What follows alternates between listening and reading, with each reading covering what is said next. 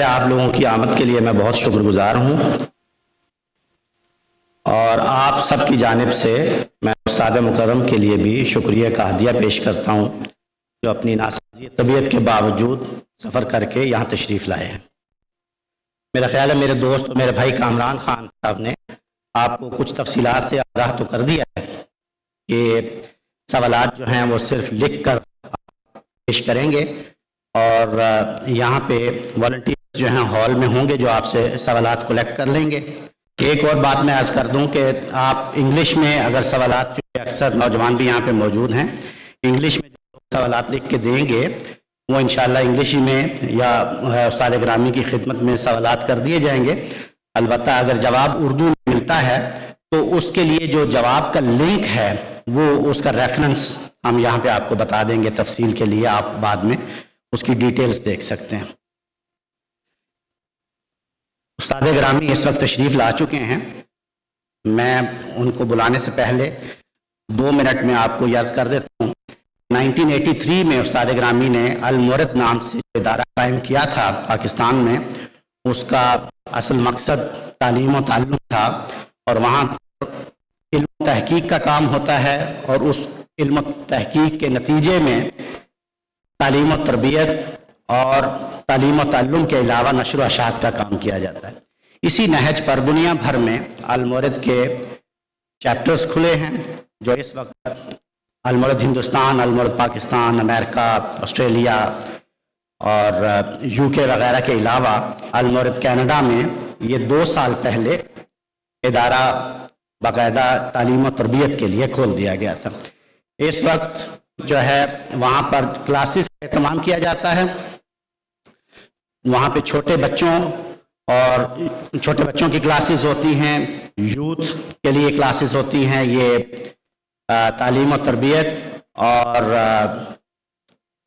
Basics of اسلام کی وہاں پہ کلاسز ہوتی ہیں۔ اس کے علاوہ ایڈلٹس کی کلاسز بھی ہوتی ہیں۔ یہ دراصل ویکینڈ سکول ہے سیٹرڈے اور سنڈے دو دن وہاں چلتا ہے۔ اور اس کے علاوہ ٹیوزڈے کو ایوننگ میں بھی ہم کلاسز کا اہتمام کرتے ہیں جہاں پہ البیان پڑھتے ہیں ہم۔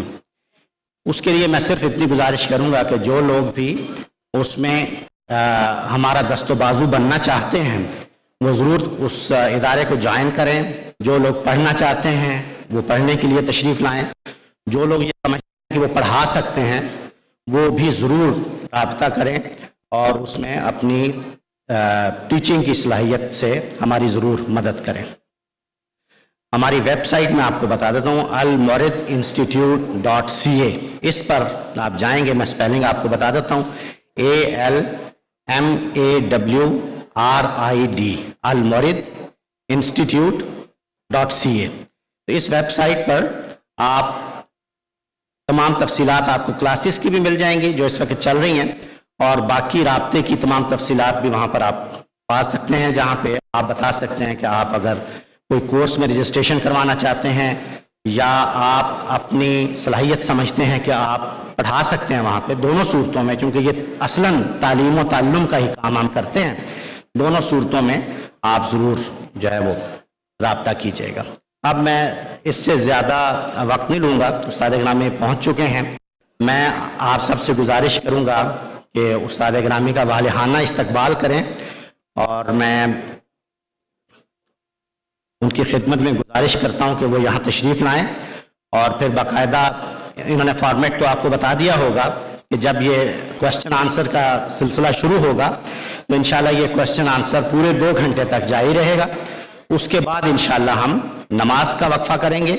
اور آخر میں پھر ہم جو ہے آٹوگراف یا تصویر وغیرہ کا ایک ایک بریک لیں گے انشاءاللہ۔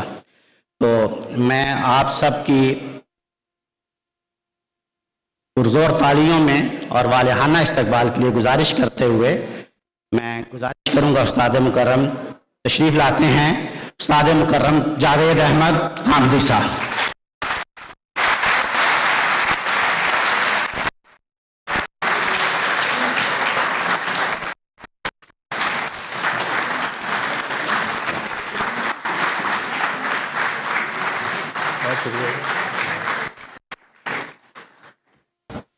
اس وقت تھری فورٹی فائیو ہو گئے ہیں۔ انشاءاللہ ہم تھری فورٹی فائیو پہ کوشچن آنسر کا باقاعدہ سیشن شروع کرتے ہیں۔ اور میں حسن الیاس صاحب سے گزارش کرتا ہوں کہ وہ اس کی ابتدا کریں۔ بہت شکریہ۔ اعوذ باللہ من الشیطان الرجیم۔ بسم اللہ الرحمن الرحیم۔ ربی شرح لی صدری ویسر لی امری وحلو اغدتم من لسانی یفقہ قولی۔ ایزان من، اللہ تعالیٰ کا بہت شکر ہے کہ ہم آج یہاں پر جمع ہیں اور اللہ کے دین اور اللہ کی جو منشا ہے، اس کے حوالے سے غامدی صاحب کے افکار سے مستفید ہونا چاہتے ہیں۔ ہم سبھی جانتے ہیں کہ غامدی صاحب گزشتہ کچھ ہفتوں سے علیل تھے اور ابھی بھی روبہ صحت ہوئے ہیں۔ میری آواز میں ایکو ہے جو واپس لوٹ رہی ہے، بولنے میں اس سے دشواری ہوگی۔ ہال میں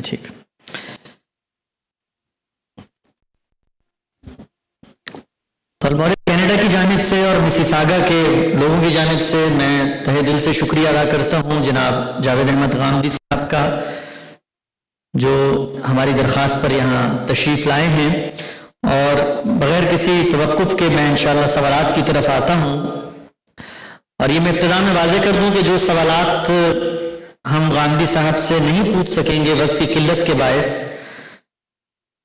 ساؤنڈ میں مسئلہ ہے۔ وہ سوالات انشاءاللہ پروگرام کے بعد آپ غامدی صاحب کی ویب سائٹ پہ پوسٹ کر سکتے ہیں اور آپ کو اس سے اس کا جواب انشاءاللہ مل جائے گا۔ ہم سب بہت شکریہ۔ آپ کی آمد کا سب سے پہلے تو بہت بڑی تعداد لوگوں کی متفکر تھی آپ کے حالیہ دل کے آپریشن کے حوالے سے۔ تو سب سے پہلے بتائیے گا کہ آپ کی صحت اس وقت کیسی ہے، کیسا محسوس کر رہے ہیں؟ پھر سوالات کا آغاز کرتے ہیں۔ الحمد للہ الحمد للہ رب العالمین، والصلاة والسلام علی محمد الامین۔ اعوذ باللہ من الشیطان الرجیم، بسم اللہ الرحمن الرحیم۔ خواتین و حضرات میں آپ سب کا شکر گزار ہوں کہ آپ اس طالب علم کی عزت افزائی کے لیے یہاں تشریف لائے۔ اللہ تعالیٰ کا کرم ہے۔ زندگی نشیب و فرازی کا نام ہے۔ اس میں صحت بھی ہوتی ہے، بیماری بھی ہوتی ہے۔ اللہ تعالیٰ ہی شفا دینے والا ہے۔ اس کی عنایت سے اور اس کے کرم سے میں اپنے آپ کو بہت بہتر محسوس کرتا ہوں اور آپ کی دعاؤں کا محتاج ہوں۔ سوالات کا آغاز کرتے ہیں۔ ہم سب سب سے پہلی بات جو آپ سے ہم جاننا چاہیں گے، وہ یہ ہے کہ مغربی ممالک، خصوصاً کینیڈا میں، امریکہ میں جو لوگ امیگرینٹس کی صورت میں تشریف لاتے ہیں، یہاں پر اور ان کے بچوں کی یہاں پر پیدائش ہوتی ہے، وہ یہاں کے تعلیمی نظام میں پڑھتے ہیں، یہاں کی تہذیب میں وہ روز بسر کرتے ہیں۔ تو والدین کی جانب سے سوال اکثر پوچھا جاتا ہے کہ ان ممالک میں بچے جن کے والدین مسلمان ہیں، ان بچوں کو کیسے دینی تصورات، مذہبی آدرش اور جو اسلامی تہذیب ہے، اس سے جوڑ کے رکھا جائے؟ بظاہر ایک کشمکش کا سما ہوتا ہے، والدین ان کو اسلامک اسکولز میں ڈالنے کی کوشش کرتے ہیں، سنڈے اسکولز میں بھیجتے ہیں، مساجد میں وہ جاتے ہیں۔ لیکن دیکھنے میں آتا ہے کہ بچوں کا مذہب سے کوئی فکری تعلق نہیں پیدا ہو پاتا۔ تو سوال میرا آپ سے یہ ہے کہ وہ والدین جو اپنے بچوں کو دین پر، مذہب پر قائم رکھنا چاہتے ہیں اور وہ چاہتے ہیں کہ ان کی آنے والی نسلوں میں اسلام ہی کا نام جو ہے وہ روشن ہو تو ان کو ان ممالک کے اس ماحول میں بچوں کو مذہب سے جوڑے رکھنے کے لیے کیا کرنا چاہیے؟ میں نے دسیوں مرتبہ اس سوال کا جواب دیا ہے۔ جب پچھلی دفعہ یہاں آیا تھا تو اس وقت بھی بہت تفصیل سے میں نے اپنا نقطہ نظر اس معاملے میں پیش کیا تھا۔ پھر یو ایس کے دورے کے دوران میں بھی کم و بیش ہر شہر میں یہ سوال سامنے آیا۔ یہ اب صرف مغربی ممالک کا سوال نہیں ہے۔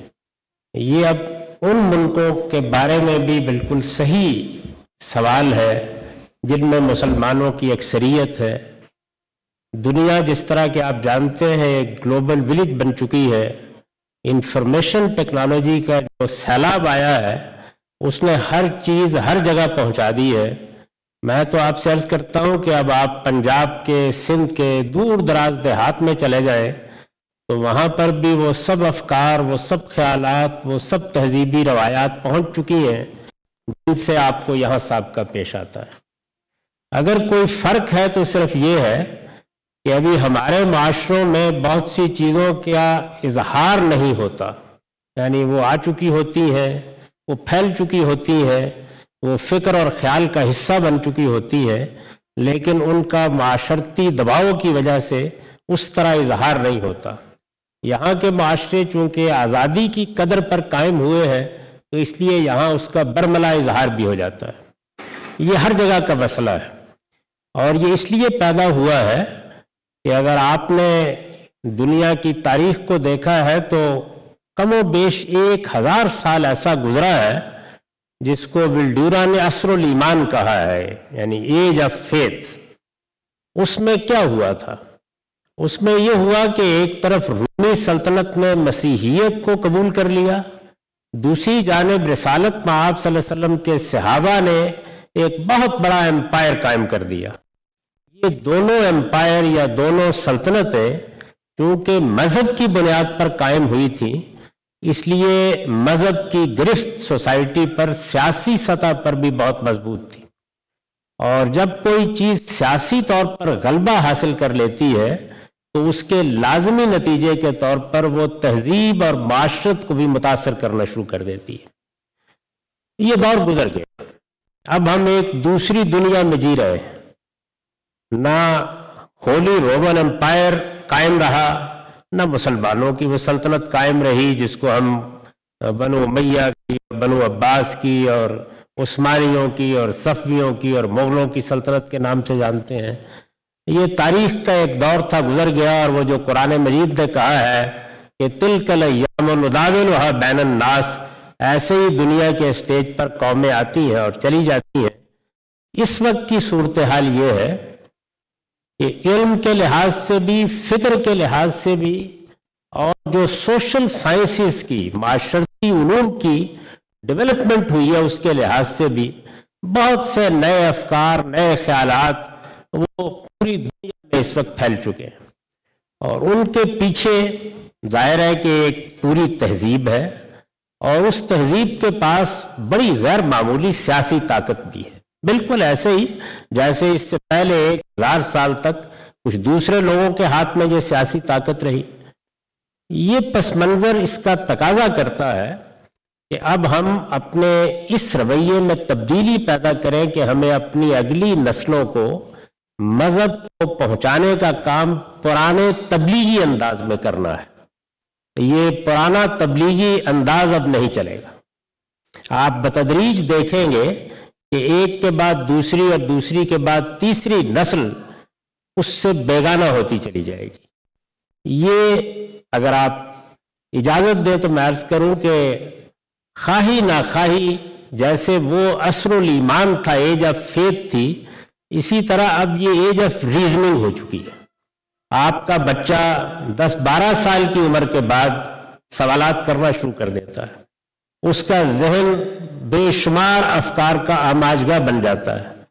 وہ بہت سی چیزوں کے بارے میں اب اس طرح مطمئن نہیں رہتا جیسے آج سے پچھلی دو نسلوں کے بچے رہا کرتے تھے۔ چنانچہ اس میں جو چیزیں نہایت ضروری ہے اور جن کے بارے میں اب ہماری پوری کمیونٹی کو ہر جگہ اقدامات کرنا چاہیے، وہ میں آپ کی خدمت میں پیش کر دیتا ہوں۔ پہلی بنیادی چیز یہ ہے کہ آپ اپنے بچوں کو جو چیزیں منتقل کرنا چاہتے ہیں، جن اخلاقی اقدار کا پابند دیکھنا چاہتے ہیں، جن تہذیبی روایات میں رچا ہوا دیکھنا چاہتے ہیں اپنے ہاں خود اس کا نمونہ بن کے رہیے۔ بچے سب سے پہلے اپنے والدین کو دیکھتے ہیں اور بچے سب سے پہلے تضادات اور کنٹرڈکشنز کو محسوس کرتے ہیں۔ یعنی وہ زبان سے کہیں نہ کہیں، لیکن اگر کسی جگہ علم میں، عمل میں، گفتگو میں، اقدار میں، تہذیبی روایات میں کنٹرڈکشنز ہوگی تضادات ہوں گے تو سب سے پہلے بچہ اس کو محسوس کر لیتا ہے۔ یہ ضروری ہے کہ ہم میں سے ہر شخص اب اپنی یہ ذمہ داری محسوس کرے کہ وہ اگر اپنی تہذیب کی اور اپنی روایات کی اور اپنے مذہب کی اور اپنے کلچر کی کچھ چیزوں کو آگے منتقل کرنا چاہتا ہے تو پھر خود اس کا اپنا یقین اس پر ایسا ہونا چاہیے کہ وہ اس کا بہترین نمونہ ہو۔ خلوت میں بھی جلوت میں بھی، گھر میں بھی، باہر بھی، منڈی میں بھی، کاروبار میں بھی۔ جس درجے میں آپ اپنی زندگی میں ان اقدار کا نمونہ بنیں گے، اسی درجے میں آپ اپنے بچوں سے بھی توقع کر سکتے ہیں کہ وہ شاید متوجہ ہو جائیں گے۔ تو پہلی بنیادی چیز جو میں نے ہمیشہ کہی ہے، وہی اس سوال کے جواب میں بھی آپ کی خدمت میں عرض کر رہا ہوں۔ دوسری چیز یہ ہے کہ اب ہمیں اپنے بچوں کے سوالات کے لیے تیار ہونا ہے۔ یعنی آپ ڈانٹ کر نہیں بٹھا سکتے۔ آپ گریز کا رویہ نہیں اختیار کر سکتے۔ آپ اب یہ نہیں کہہ سکتے کہ بس تمہیں یہ بات مان لینی ہے یا اما نے فرمائی ہے یا ابا کے ہاں الہام ہوئی ہے۔ نہیں مانے گا کوئی۔ آپ کے بچوں نے سوالات کرنے وہ اسکول میں جائیں گے، وہ مدرسے میں پڑھیں گے، وہ اساتذہ سے ملیں گے، وہ انفارمیشن حاصل کریں گے۔ علم کا جو، علم نہ کہیے تو معلومات کا جو سیلاب ہے، وہ اس میں بہ کر آئیں گے اور آپ سے بہت سی باتیں پوچھیں گے۔ ان کے جواب میں استدال کا رویہ اختیار کرنا چاہیے ریزننگ کا رویہ اختیار کرنا چاہیے۔ یعنی آپ اب فتوے کے انداز میں بات نہیں کر سکتے۔ اگر آپ ان کو یہ کہیں گے کہ ایک بڑا سا لفظ بول دیں گے، یہ حرام ہے، یہ بول دیں گے، یہ مندوب ہے، یہ مستحب ہے، یہ مکرو ہے، تو یہ اس کے لیے گویا سر کے اوپر سے گزر جانے والی اصطلاحات اور ٹرمینالوجی ہوگی۔ وہ آپ سے یہ چاہے گا کہ آپ اسے بتائیں کہ جس چیز کو آپ روک رہے ہیں، اس کی علمی فکری، عقلی بنیادیں کیا ہیں؟ یعنی وہ کیا بیسز ہیں جن کی بنیاد پر آپ روک رہے ہیں؟ اور جس چیز کو اختیار کرنے کے لیے کہہ رہے ہیں، وہ کیوں اختیار رہے ہیں؟ تو ان سوالات کے لیے تیار ہونا چاہیے۔ سارے والدین یکساں سوالوں کا جواب نہیں دے سکیں گے۔ تیار رہنے کا مطلب یہ ہے کہ آپ ان کی رہنمائی کرنے کے لیے تیار ہوں، سوال سننے کے لیے تیار ہوں، آگے سے رد عمل نہ ظاہر کریں، کسی چیز کو دبا دینے کی کوشش نہ کریں بلکہ ان کو اسی طرح گائیڈ کریں جیسے اگر وہ سائنس کے بارے میں میتھمیٹکس کے بارے میں جغرافیے کے بارے میں کوئی سوال کر لیں تو بارہ ایسا ہوتا ہے کہ آپ کے علم میں نہیں ہوتا، آپ اس کا جواب نہیں جانتے، لیکن پھر آپ اپنے بچے کی رہنمائی کرتے ہیں۔ یعنی آپ کوشش کرتے ہیں کہ اس کے سوال کو سن کر، اس کی حوصلہ افزائی کرتے ہوئے یعنی اسے انکریج کرتے ہوئے توجہ دلائیں کہ تمہیں اس کا یہاں سے مل سکتا ہے، یہاں سے مل سکتا ہے۔ اچھا آؤ ہم تمہارے ساتھ مل کے اس کا جواب تلاش کرتے ہیں یا اس بات کو سمجھنے کی کوشش کرتے ہیں۔ تو میں یہ دوسری بات کہہ رہا ہوں، اس کا تعلق ایٹیچیوڈ سے ہے، رویے سے ہے۔ یعنی رویہ ڈانٹ دینے کا، فتویٰ دینے کا، چپ کرا دینے کا نہیں ہونا چاہیے، بلکہ والدین کو اچھا رہنما بننے کی کوشش کرنی چاہیے۔ میں نے پھر عرض کیا ہے کہ سب والدین سے آپ یہ توقع نہیں کر سکتے کہ وہ اعلیٰ ترین سطح کے اوپر ہر سوال کا جواب دے رہیں گے وہ باقی جو مضامین بچہ پڑھ رہا ہوتا ہے، بارہا ان کا جواب دینے کی پوزیشن میں بھی نہیں ہوتے۔ لیکن وہ اس کا گلا نہیں جوڑتے رہنمائی کرتے ہیں۔ تو آپ کو رہنما بننا چاہیے۔ دوسری چیز یہ ہے، تیسری چیز یہ ہے کہ جو ہمارا مذہب ہے، اب اس کی تعلیم کا بندوبست بھی بالکل مختلف طریقے سے ہونا چاہیے۔ وہ کینیڈا میں بھی، وہ یو ایس میں بھی، وہ انگلستان میں بھی، وہ یورپ کے ملکوں میں بھی۔ اور مجھے کہنے کی اجازت دیجیے کہ وہ مسلمان ملکوں میں بھی یعنی جن علاقوں میں مسلمانوں کی اکثریت ہے، وہاں بھی یہی صورتحال ہے۔ ہو سکتا ہے آپ کو اس کا اندازہ نہ ہو، لیکن میں وہاں بھی بچوں سے ملتا ہوں، نوجوانوں سے ملتا ہوں۔ مجھے اندازہ ہے کہ وہاں پر بھی یہی صورتحال ہے۔ کہ اب آپ تبلیغی انداز میں مذہب کو نہیں پڑھا سکتے۔ چنانچہ مذہب کی تعلیم وہاں بطور علم ہونی چاہیے۔ میں نے یہاں پر بھی بہت سے جس کو آپ اسلامک سکولز کہتے ہیں، ان کو دیکھا ہے۔ اور ان کے نصابات پڑھانے کے طریقے دیکھے ہیں۔ جو مذہبی ادارے یہاں ہیں، ان میں جس طریقے سے گفتگو کی جاتی ہے، وہ بھی سنی ہے۔ ابھی تک ہمارا وہی پرانا تبلیغی انداز ہے۔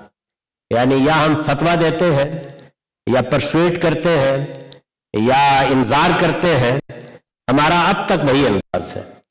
اب یہ ضروری ہے کہ مذہب کو بطور علم پڑھایا جائے۔ یعنی جیسے آپ سماجیات سوشالوجی پڑھاتے ہیں، جیسے آپ سائنس پڑھاتے ہیں۔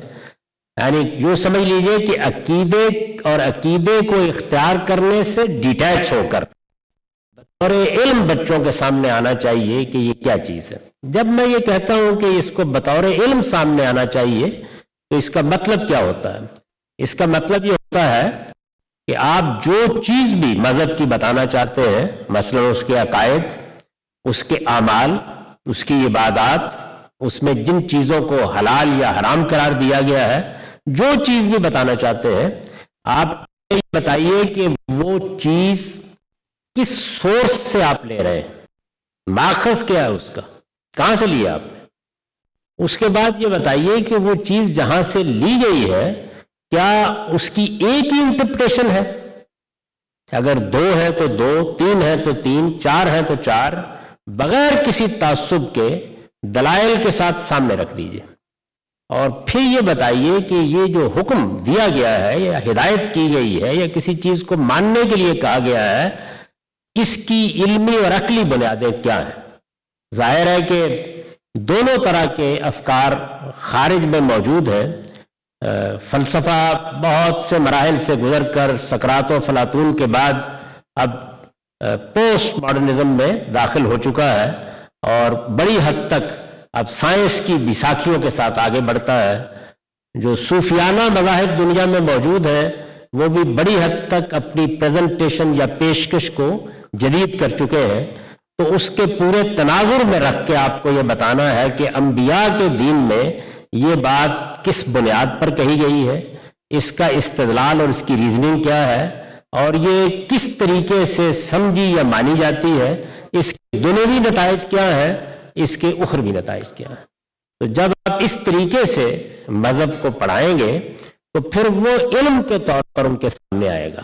یعنی پہلے ہی مرحلے میں کسی ذہنی دباؤ کے بغیر کہ ان کو مان لینا ہے اور ان کو قبول کر لینا ہے اور نہیں مانیں گے تو اس کا یہ نتیجہ نکل آئے گا یا وہ نکل آئے گا، اس سے بالا تر ہو کر بطور علم وہ اس کو سمجھیں گے۔ جب یہ مرحلہ گزر جائے گا، تب آپ توقع کر سکتے ہیں کہ اس دور میں کون قرآن مجید کے الفاظ میں دلیل پر جیتا ہے اور کون دلیل کی بنیاد پر اپنی موت کا سامان کرتا ہے۔ اس سے بچانے والی تو اللہ ہی کی ذات ہے، ہدایت بھی وہی دیتا ہے، لیکن طریقے میں یہ تبدیلیاں ناگزیر ہیں۔ اس کے بغیر آپ آئندہ نسلوں کو دین سے وابستہ رکھنے میں کامیاب نہیں ہو سکتے۔ تو یہ چند مختصر باتیں ہیں، ظاہر ہے کہ اس طرح کی مجالس میں بہت تفصیل کرنا ممکن نہیں ہوتا۔ آپ نے پوچھا ہے تو میں نے دہرا دی۔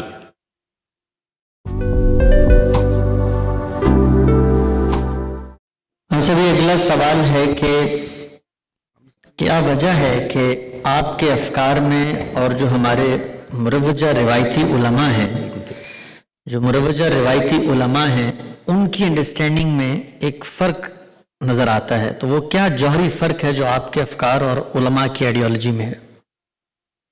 اگر کوئی فرق نہیں تھا تو میرے جیسے ایک ذمہ دار پس منظر کے آدمی کو، اس راہ کو اختیار کرنے کی ضرورت ہی کیا تھی؟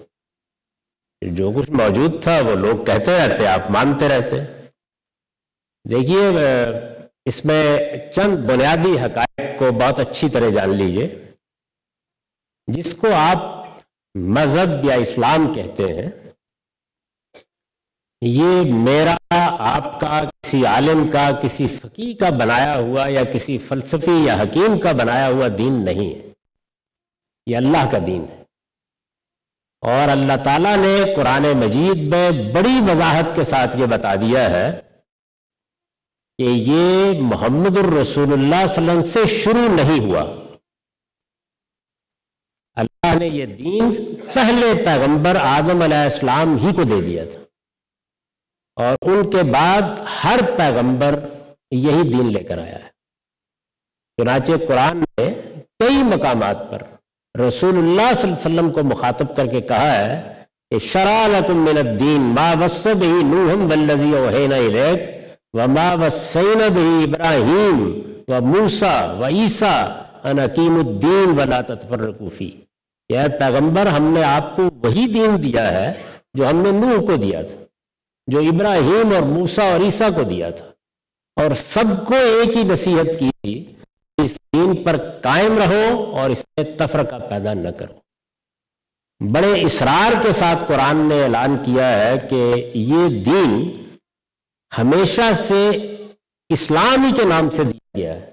اسلام کا مطلب ہے ٹو سرنڈر آپ اپنے آپ کو اپنے پروردگار کے حوالے کر دیں۔ اس کا ہمیشہ یہی نام رہا ہے۔ چنانچہ اس سے پہلے اگر کوئی الگ نام ہے تو وہ اس دین کے فرقوں کے نام ہے۔ یہودیت اسلام ہی کا ایک فرقہ ہے۔ مسیحیت اسلام ہی کا ایک فرقہ ہے۔ ایسے ہی جیسے محمد الرسول اللہ کے بعد بھی اب آپ بہت سے فرقے دیکھتے ہیں کہ پیدا ہو گئے ہیں۔ معاف کیجیے۔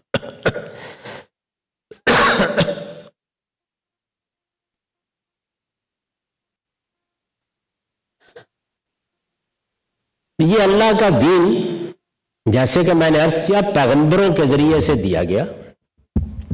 اللہ تعالیٰ نے اس کی تاریخ بھی ایک جگہ کے اوپر بیان کر دی ہے۔ اور یہ بتایا ہے سورہ بکرا میں کہ کان الناس و امتم واحدہ۔ ہم نے جب اس دین کی دعوت لوگوں کو دی، تو ایک لمبے عرصے تک لوگ ٹھیک دین پر قائم رہے۔ ان میں کوئی اختلافات نہیں تھے۔ ایک لمبا عرصہ ایسا گزرا ابتدا میں جس میں سیدنا آدم علیہ السلام نے جو دین کی روایت قائم کی، اللہ تعالیٰ کی ہدایت کے مطابق وہ قائم رہی۔ پھر کیا ہوا؟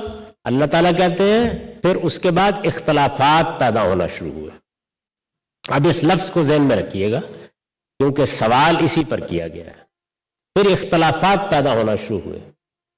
تو اللہ تعالیٰ کہتے ہیں کہ پھر میں نے کیا کیا؟ فباس اللہ النبین مبشرین و منظرین پھر اللہ نے نبیوں کا ایک پے در پے سلسلہ جاری کر دیا۔ یعنی آدم علیہ السلام پہلے پیغمبر تھے، وقفہ آیا، اختلافات پیدا ہوئے، تو پھر پے در پے پیغمبروں کا سلسلہ جاری کر دیا۔ یہاں تک کہ دوسری جگہ کہا ہے، ابراہیم علیہ السلام سے پہلے ہر قوم کی طرف ایک رسول بھیجا۔ اور اس طرح ان رسولوں اور ان نبیوں نے آ کے کیا کیا؟ مبشرین و منظرین انہوں نے لوگوں کو صحیح راستے کا انجام بتایا، بشارت دی۔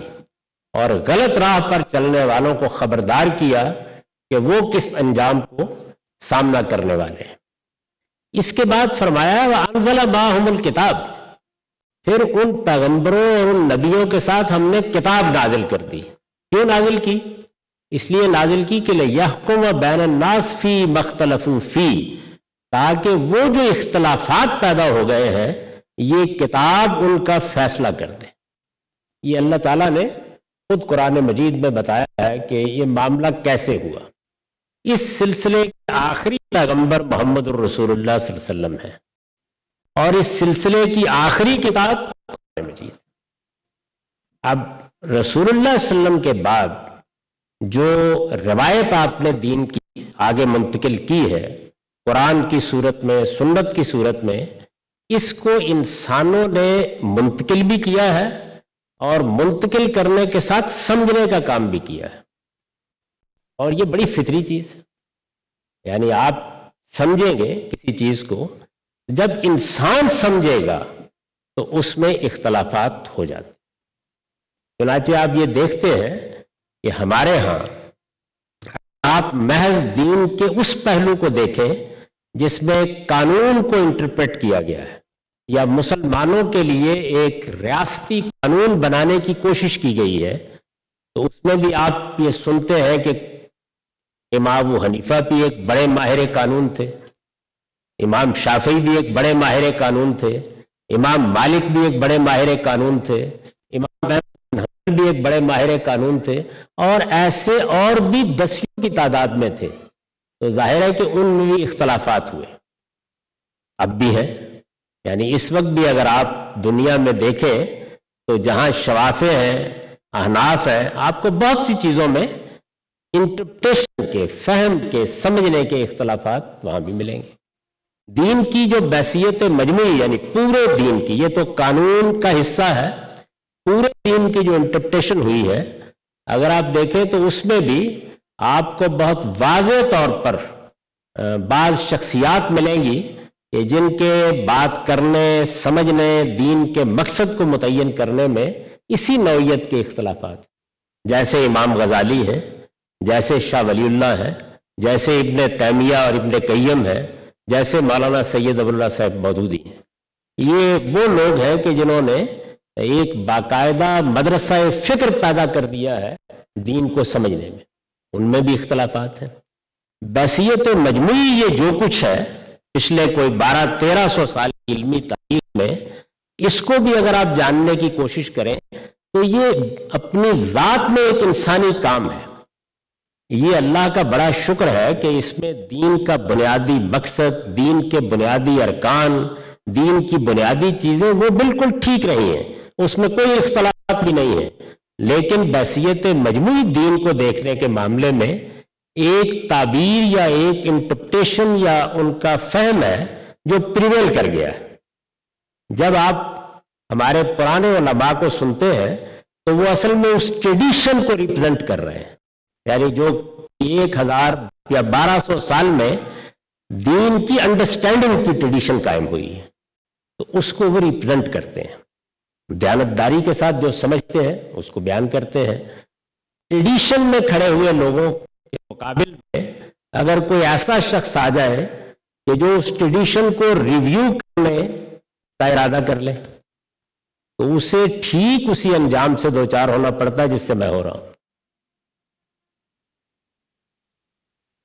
جب کبھی بھی کوئی اختلاف آپ کے سامنے آئے تو پہلے اس کی نوعیت سمجھ لیجیے یعنی میرا کام کیا ہے؟ کس نوعیت کا ہے؟ ایسا نہیں ہے کہ میں کوئی دیوبندی یا بریلوی یا اہل حدیث یا ہمبلی یا شافی لوگوں میں سے ایک شخص ہوں جو پیدا ہو گیا ہوں۔ میں نے پورے مذہبی فکر پھر عرض کر دوں، مذہب نہیں، وہ تو اللہ کا ہے۔ پورے مذہبی فکر ریلیجیس تھاٹ کی ریکنسٹرکشن کا کام کیا ہے۔ تو اس طرح کے کام میں آپ ظاہر ہے کہ جو پہلے سے موجود ٹریڈیشن ہے، اسے چیلنج کر دیتے ہیں۔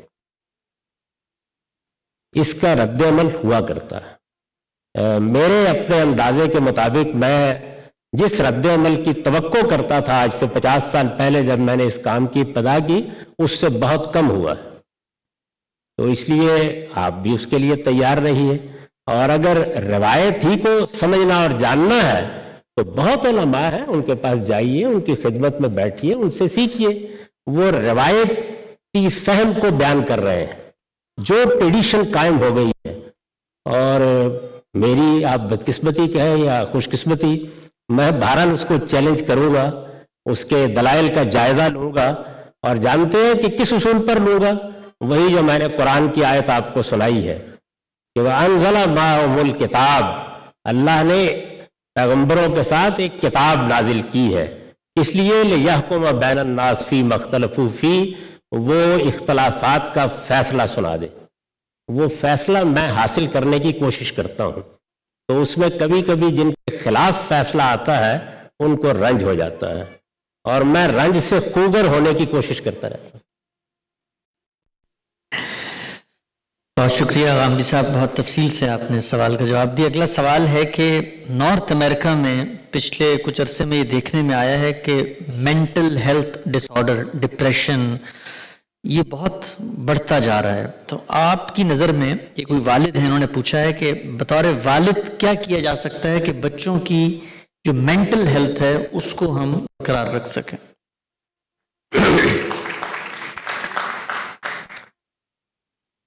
یہ مسئلہ صرف آپ نے نارتھ امریکہ تک کیوں محدود کر دیا؟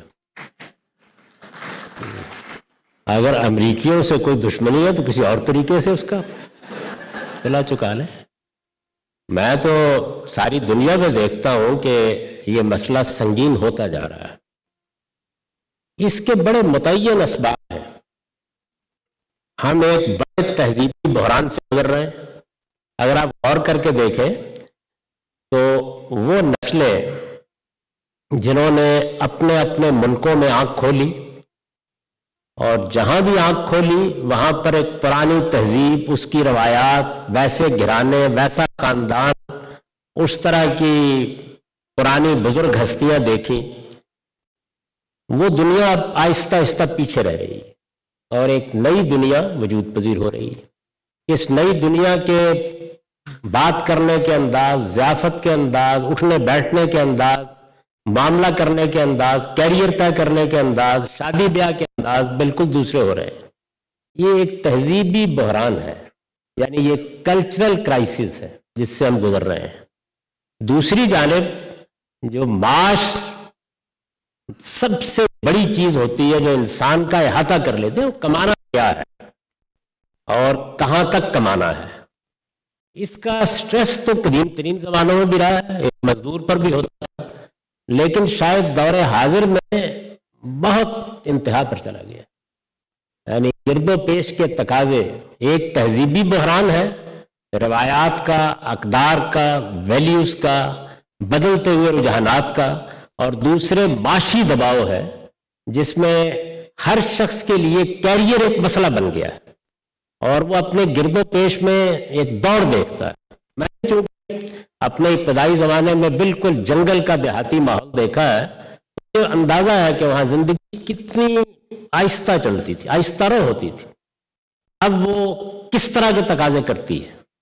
ایک چھوٹے سے چھوٹے گھر سے بھی کیا تقاضے کرتی ہے؟ ایک بچے کی تعلیم کے معاملے میں والدین کو کس صورتحال سے دو چار کر دیتی ہے؟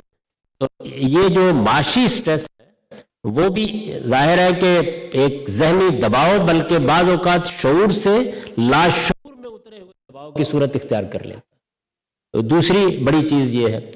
تیسری چیز یہ ہے کہ ہمارا موجودہ جو زمانہ ہے، یہ پہلے زمانے میں بھی لوگ خواب دیکھتے تھے، یہ بہت دکھاتا ہے سیاسی بھی، معاشرتی بھی، تہذیبی بھی ہر طرح کے خواب دکھاتا ہے۔ تو اس کے نتیجے میں ظاہر ہے کہ سارے خواب شرمندہ تعبیر نہیں ہوتے۔ ذرا سا آدمی آگے بڑھتا ہے تو خوابوں کے ٹوٹنے کی صورت میں بن جاتی ہے۔ ہاتھ میں گلاس آتا نہیں کہ کرچی کرچی ہو جاتا ہے۔ یہ صورتحال ہے۔ یہ تینوں چیزیں مل کر ہمارے ہاں بہت سے ذہنی معاملات کا باعث بن رہی ہیں۔ تو ان میں سے شاید کسی ایک چیز کو درست کرنے کی کنجی ہمارے ہاتھ میں نہیں ہے۔ یعنی یہ سوسائٹی ہے، یہ معاشرت ہے، دنیا یہاں پہنچ گئی ہے، اس نے یہ مسائل پیدا کر دیے ہیں۔ ہم جو کچھ کر سکتے ہیں وہ یہ ہے کہ اپنے بچوں کی ابتدا میں جب تعلیم کا بندوبست کریں یا اپنے ہاں کے جو دینی تعلیمی ادارے ہیں، وہ مذہبی تعلیم دے رہے ہیں یا سیکولر تعلیم دے رہے ہیں، وہ ابتدا سے اس چیز کا لحاظ کر کے کہ بچے کس صورتحال سے دو چار ہو رہے ہیں، ان کے ساتھ معاملہ کریں۔ یعنی صرف یہی نہیں کہ میتھمیٹکس سکھا دینا ہے اور سائنس پڑھا دینی ہے اور مذہب ٹھوس دینا ہے۔ نہیں، پہلے انسانی شخصیت کی تحلیل کرنی ہے، اس کا انالیسس کرنا ہے۔ بتانا ہے انسان جانوروں سے کس پہلو سے ممتاز ہے۔ تاریخ کیا ہے جس میں تم کھڑے ہو۔ اس وقت کی دنیا کون سی ہے؟ اس کا ایک بہت اچھا انٹروڈکشن کرا کے حقیقت پسندانہ طریقے پر دنیا کو دیکھنے کی تربیت دینی چاہیے۔ ہم یہی کر سکتے ہیں۔